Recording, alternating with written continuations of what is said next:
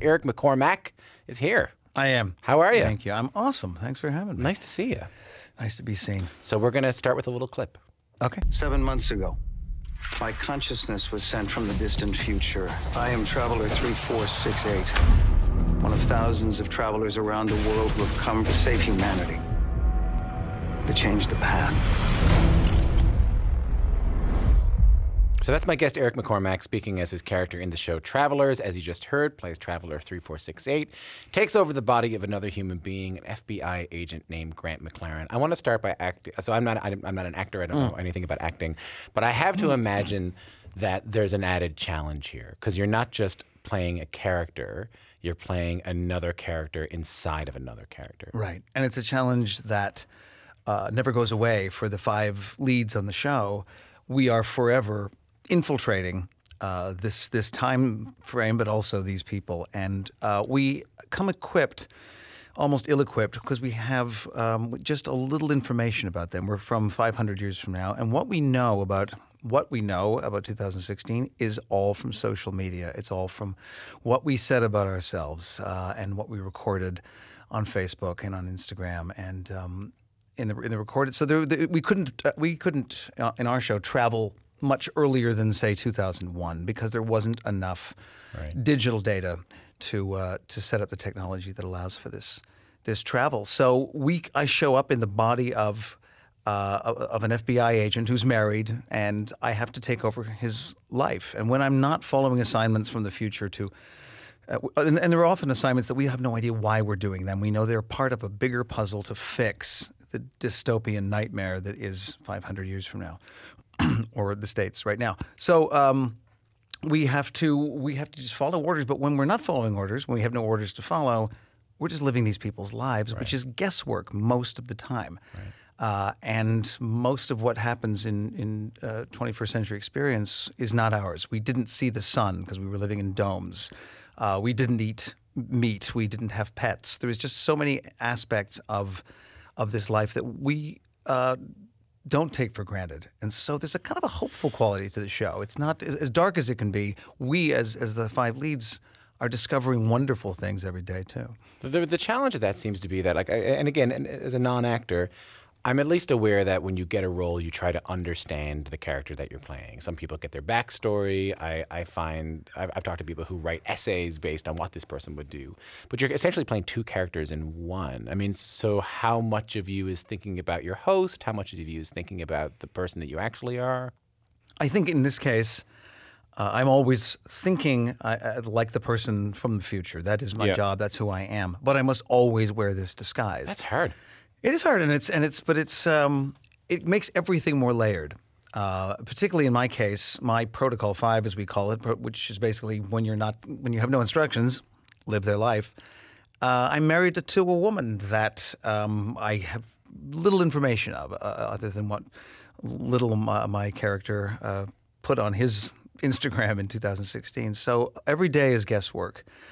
I'm suddenly making love to her, and it's like from the moment in season one that we have sex for the first time, she knows something's up. This Right. is, I mean, this is my husband, but he never did that before. So every step we make in the kitchen, in the bedroom, at, at the office, because I'm an FBI agent, could be the wrong step. It's where somebody goes, wait a minute. Yeah, but what I like what I like about the way you do this is that it's it's very it, it's very subtle. Like I've, I spoke to Michael Caine a couple of weeks ago. Oh, nice. Actually, I'm, I don't have a question based on. it. I just wanted to tell you. um, no, I spoke to Michael Caine a couple of weeks ago, and he said that um, one of the early acting lessons he got was that he, he was acting like a drunk. So he was supposed to act like a drunk, and so he was you know stumbling around and hiccuping. And the director said, no, no, no, no. Like a drunk wouldn't act like Right. that. You would act very subtle. So you, you would have to, people would only be able to barely discern. You'd be trying to keep it together. And I think that's the challenge that I see. That's what I find so appealing about this show. Right. You're always, I mean, I thought that about uh, Johnny Depp's first uh, Pirates of the Caribbean. I thought what was interesting was watching a severe drunk try not to be drunk. And I think that's why that led to a, a nomination. But I, it's the same thing here. You're constantly trying to think of, you, you don't want to show your hand. It's the opposite. Uh, even the audience doesn't want to see your hand. They want to know that you're, you're struggling uh, in that moment. Um, and those are my favorite moments in the show. Has this made you renegotiate your relationship with social media at all? Seeing as how your your entire character's knowledge is based on what they shared willingly online? Well, it makes me re- realize that this this thing we're living in for the last two years, this fake news thing, is is a huge problem for how because we are now our own historians. Everyone is their own is responsible for their own life. Our diaries are online, and how many people are lying? How many people are, are, are sort of exaggerating their life, and how many people on social media don't put a picture and hide behind a, a made up name so that they can say anything? Is their rage real, or are they just glomming on because it's easy? It's easy to write something enraging or or to uh, choose a side when you don't have to. There's an amazing story that uh, Sarah Silverman uh, um, on online confronted a guy that had Yeah. said something terrible about her, and with, she didn't confront him in a violent way, but in a "wow, you must be really hurting" kind of way. And within a few weeks, he'd change sides. He'd become her friend. He'd become an advocate for things that he was only screaming about from his his basement. So I, I think that there's so much good that can be done in social mm. media, but right mm-hmm. now it's it's sickening to see how it is used as as a as a weapon. I mean, it's interesting for you because you you live a public life. In that is to say, like you have the option of a public life, and and so many people I speak to who are like, who, you know, when they go out, when you go downstairs, people will be calling out. When you walk down the street, people will be calling out, "Hey, you owe me money." But the uh, but you know what I mean. And I do. Yeah, you'll be you'll be you, you have a public life. So a lot of people like yourself have told me, why would anyone want that if they didn't need it? If they didn't need it for their job, why would anyone have an Instagram account or a Twitter account if they didn't need to have it for their job? Yeah, I agree 100%, and I wouldn't. Uh, it's it's very much a thing that I try to use um, just to promote the work and otherwise live privately. Whereas, say Debra Messing, my co-star in One Will and Grace, I mean, she has quite valiantly and uh, and in a very well-spoken way used it as a tool um, to to fight what's going on, and I. I retweet her a lot. I support it. I, but I'm also like, ugh, I don't want to be on the front lines every moment of every day. Sometimes I have to just back up and be my son's father, mm. um, and be private. And it, it is a it's a harder world every day for anybody to be private mm-hmm. when you've all of a sudden had a Facebook page for three years and you realize you've shared everything. And what now? You want some privacy? Mm-hmm. You've got you've got followers or or friends that you've never met before on Facebook. Everyone does. And it's like, why did I decide to do that? Why did I decide to share so much of me with strangers? And that's something that the show brings up. I feel like if they if they if they came back in the future to you, they wouldn't they wouldn't know that much about you. Well, maybe. Yeah, maybe I'm, so. I'm, I'm about to go to my alma mater at Ryerson and talk to the students there, and I have a feeling they don't know much about me. It's, it's been 33 years. Well, they would know the person, the public you, but you know, yeah. the true you. Um, all Canadian show. Yeah. And I, I read a statement. I rarely read statements from actors on why that's important, but this is a priority for you. Well, it was uh, a luxury because I, quite frankly, um, I had to go t- south to get beyond what I, I could accomplish years ago. Like 25 years ago, I had done A Street Legal and A uh, ENG, and, Yeah. and I couldn't get hired beyond it. Do you remember that moment of going, I'm, I'm going to leave? Well, it, it happened roundabout because I went to Vancouver first, and I worked on a lot of American shows in that in that '92, and then I went south. Um, but it was it was gradual because I, as I've often said, I dreamed locally when I uh, lived here. I I'm, I wanted to work at the Tarragon Theater. You know, I wanted to work at the CBC. Um, Bad idea. Bad. I, I was a I was an intern at Chum AM when I was 15. I mean, this is I, I my parents were Toronto born, and I, I love this city. But over time, something kind of pushed me elsewhere. So um, the dream evolved. But I do remember the moment of of landing in LA and saying, "Well, I've, I, this is happening now. This I, I, I don't want to back off from this. Nobody wants to go home with their tail between their legs." So now you're able, you, you mentioned this is a luxury to be able to be back in Canada working in an all Canadian. Well, right now, yeah, it's a luxury to be back in this country. Um, Right. But uh, the fact that travelers started before the election, that travelers started out of a sincere desire to um, to work in Vancouver, where I, my wife and I live when we're not in LA, and to work with Brad Wright, who's another Scarborough boy uh, who created the show, and and I said to him after we when we first talked, he said, uh, I said, these are incredible parts. These other four travelers, you we're gonna have to. I guess we're gonna have to go to L.A. He said, nope, I found them all. Found them all in Vancouver, and two two of them are from, from Flin Flon, Manitoba. Jarrett Abrahams. Jared Abramson, who's incredible. Uh, Mackenzie Porter from Medicine Hat. Sister of Kalan Porter, former Canadian Idol. Uh-huh. Yeah. And she's got music coming out of her own, like a- any day now. Mm-hmm. Um, Patrick Gilmore, also Flin Flon, two Flin Flon boys, and they're just all amazing. So I'm, I'm. It's not just that they're Canadian; it's that there's incredible talent here, and we get to to have it. It feels like the industry's changed then too. I mean, if you had to leave in any two, because there weren't that many opportunities now, Yeah. it sounds like things have changed. I think there well, there's obviously just more more content, and there's there's more Canadian companies making it, and they're not necessarily making it just for Canada. I mean, I, it's one thing to say we're all Canadian; we're making travelers for the world. Yes. Uh, and that's the luxury of Netflix is it's it drops everywhere on December 14th.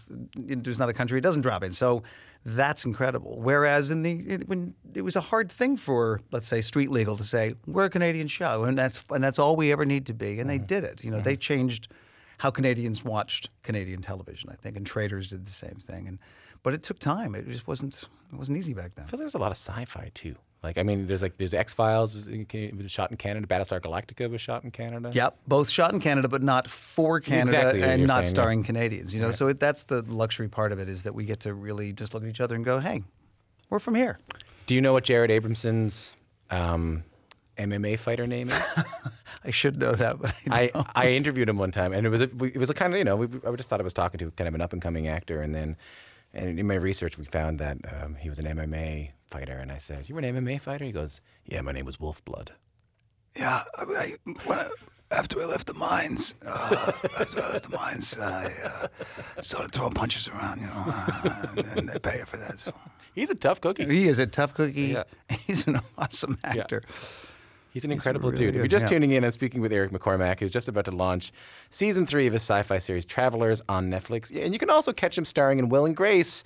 The revival is airing in its second season on TV right now. So there's like days between filming Travelers in Vancouver and Will and Grace in, in LA. Is that hard on your sleep?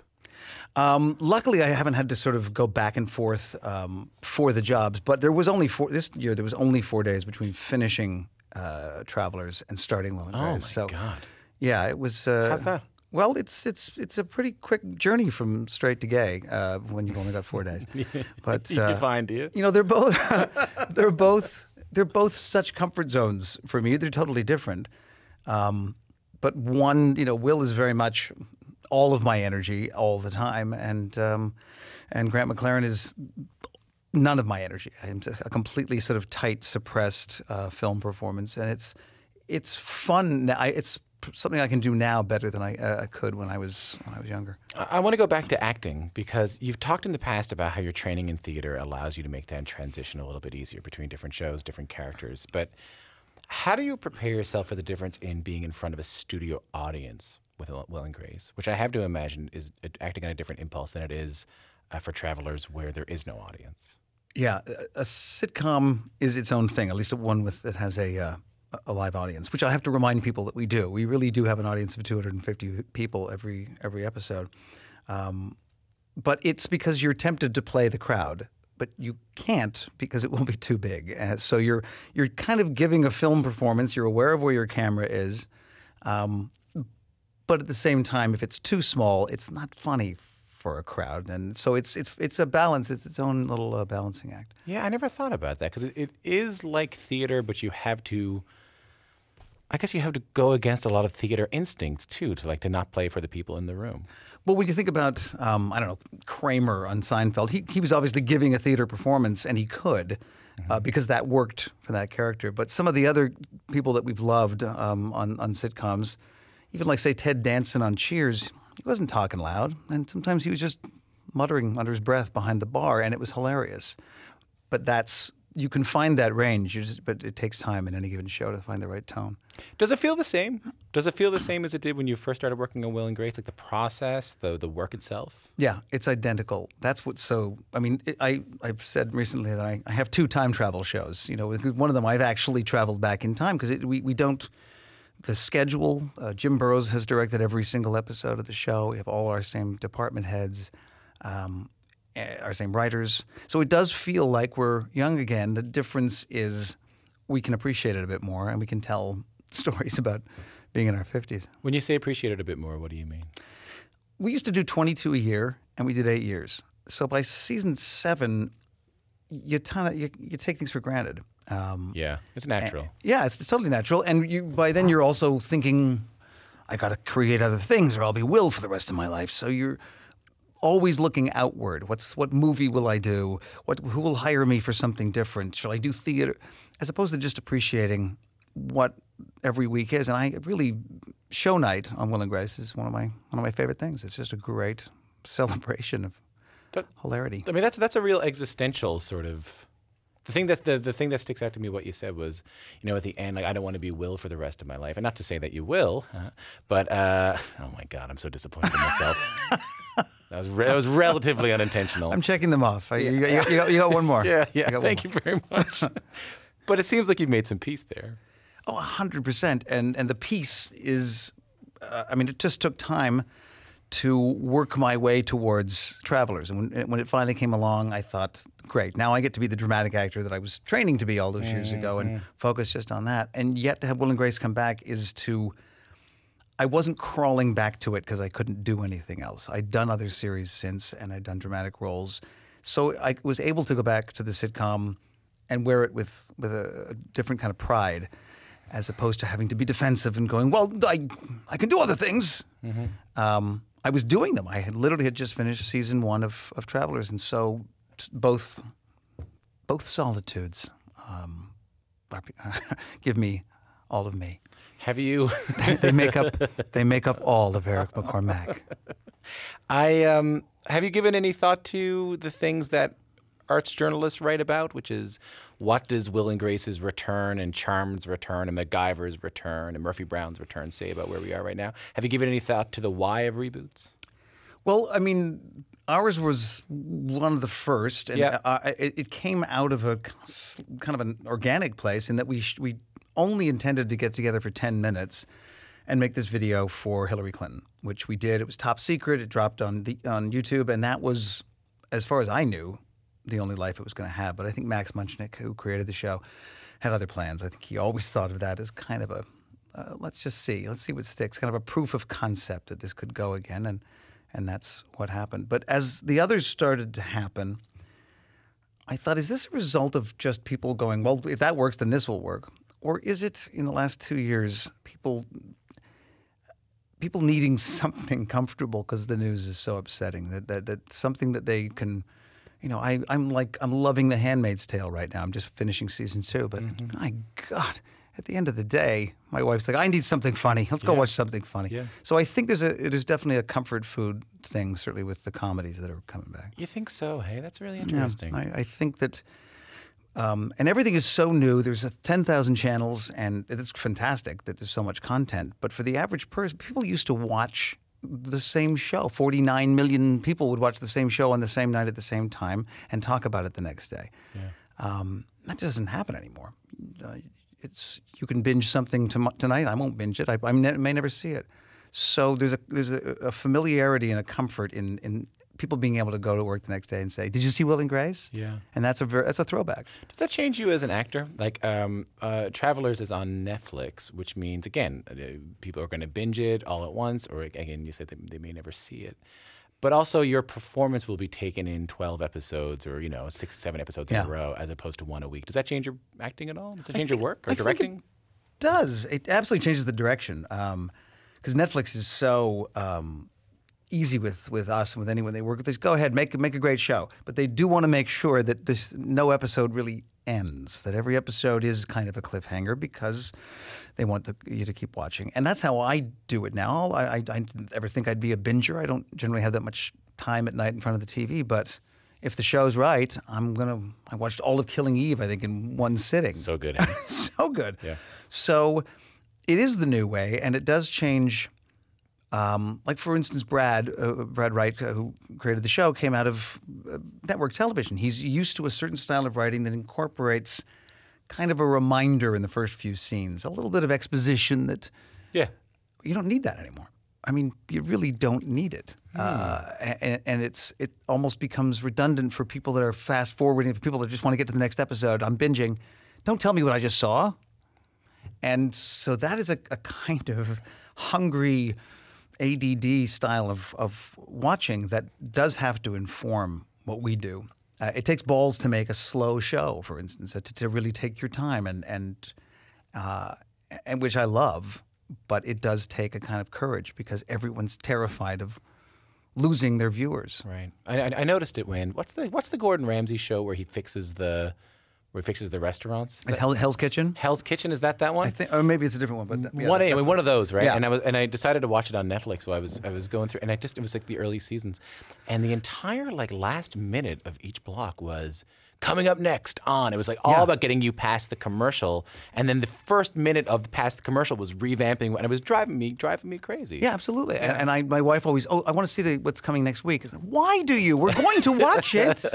We've already decided we're going to watch it. I don't want to see that. So back in September, Eric McCormack, you were honored with a star on the Hollywood Walk of Fame. Indeed. Congratulations. Thank you. What's that like? Uh, it's surreal. Um, it's it's one of those things you don't really think of. Um, I, I, it's not practical to to dream of that. Do they give you a call and let you know? How do you find that out? Yeah, you find out about a year in advance. Um, and it's a strange ceremony because one of them happens every other week. Uh, and it's kind of what you make it. I think for, for a lot of people, it's a cynical thing. It's one more thing they get. You know, I don't know how much it mattered to Kid Rock that he got us. I don't know that it ever crossed his mind. Whereas for me, it was a chance. I, I came to the states not knowing if if and I moved my wife, who's uh, an Alberta girl. You know, she came willingly, but this is not the life she dreamed of. And we created something down there, and I don't know how much longer we'll be there before we we're back here. But I know that it's it'll always be there on a filthy sidewalk outside the Shake Shack to tell people that I came and I did something and I and I and, and I accomplished that and I I said in my speech I, I said to my son you know I hope one day you will bring your grandchildren here and they will look up at you and say granddad now can we go to Universal Willingly, are you going to uh, come back to Canada? You, I, I couldn't help but notice you said that. Oh, yeah, well, you think you might I make the move back up? Uh, I, I, I do. We, we built a place in Vancouver that was uh, always meant to be our retirement home or whatever, and um, and I've been able to live there and enjoy the home while while we're shooting Travelers, and I just I I love it. I love being back in Toronto. I love Vancouver, and um, and I was at St. John's once too, and I loved that. What were you there for? I did. I did. I was doing a play in New Brunswick. I was doing Saltwater Moon in New Brunswick, and I and it's in uh, Newfoundland. Uh, sound, so I went and just lived there for a week. It was very method. This is, this is year. This is like 1990, and uh, and I just hung out in St. John's and sat in pubs and listened to people. It was awesome. Uh, that's, kind of my life. Yeah. I'm, I'm in there drinking. Yeah, Yeah, right. And I was listening to you drink, and uh, and copying you on stage in Fredericton. I was, was going to say, is your star is your star too far away from the current U.S. presidents? Yeah, well, I, I think it was dug up, wasn't it, a few times? I think a few times. Yeah, Yeah. maybe so. I mean, that's the problem with the whole Star, the Walk of Fame thing, is that for everyone that you go, oh my God, look, there's someone else you go, oh, oh Lordy. Maybe I'll step. try not to break my mother's back. I know. Uh, nice to talk to you. Great to talk to you. Thanks for having me.